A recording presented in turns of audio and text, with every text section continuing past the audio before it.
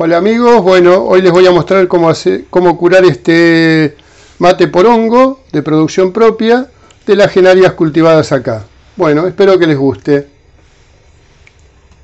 Hola gente hermosa, bienvenidos a Cocinando en nuestro rancho soñado.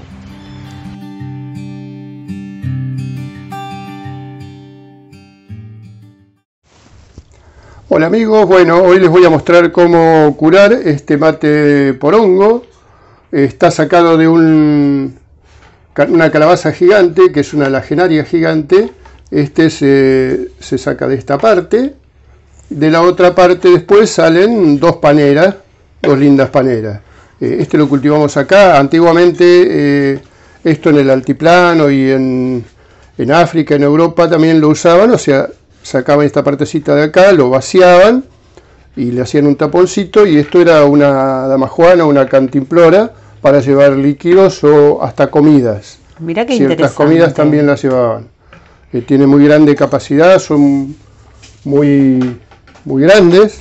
Claro. Este, acá en el clima se dan bien, me salió bien, cuesta mucho porque eh, después secarla. O sea, esto es muy dura la, la corteza, pero eh, el clima acá después en otoño-invierno, que es cuando se tiene que secar, eh, es muy húmedo y cuesta mucho, eh, agarra mucho hongo alrededor. En un clima más seco se seca más, más fácil. claro. claro. Así que bueno, no, no, es lo aconsejable hacerlo en el clima de acá. Cuesta mucho mantener que no se manche con hongo. Pero vos lo lograste. Sí. la verdad que... Esto es otra lagenaria más chica. Claro, cuando vos decís lagenaria, es el nombre, de, la planta. De la, planta, de la semilla. La semilla eh, es esta. A ver, qué lindo. Tiene esa formita. Ah, hermosa. Esa semilla de lagenaria. De esta grande. Gigante. Claro. Ah, de esta grande. La otra es un poquito más chiquita la semilla. Claro. Porongo significa calabaza en forma de pera. Y si vos te fijas es una pera perfecta. Claro, los que más usan este tipo de mate son los, los uruguayos, que es este tipo, que sería así cortado, se le corta esta parte de acá. Claro. Y si no, usan otros, eh, pero siempre con boca ancha, que tienen el mismo cuero con que está forrado, tiene las eh, cuatro aletas para apoyar. Perfecto. Este necesita apoyarse ahí. Claro, pero está precioso. Este, Muy bien. Bueno, una vez que lo cortamos hay que sacarle las semillas, limpiarlo, porque tiene, bueno, todas las telas de adentro. Después con una lijita pulirlo, eh, acomodarle el borde. ¿Qué lija es? Es una lija para madera finita. Bien. Este, Después de eso, bueno, se le saca el polvillo, se le pone manteca, lo enmantecamos, toda la parte de adentro.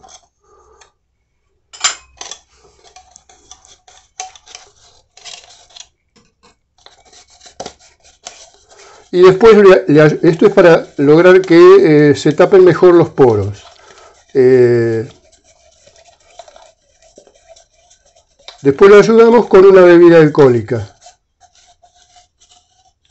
¿Destilada tiene que ser? Una bebida destilada y en lo posible que no sea dulce. Ajá. Porque es para tomar mate amargo, lo que no queremos es que nos quede un gusto dulce después eh, en el mate. Claro. Así que bueno, esto lo, lo completamos con whisky. Le falta un poquito más. Falta un poquito más de whisky. Muy bien. Lo tapamos para que no nos, no nos evapore por arriba. O sea, el alcohol lo que queremos es que haga que la manteca penetre en, en la madera. Muy bien. Y esto lo dejamos 24 horas.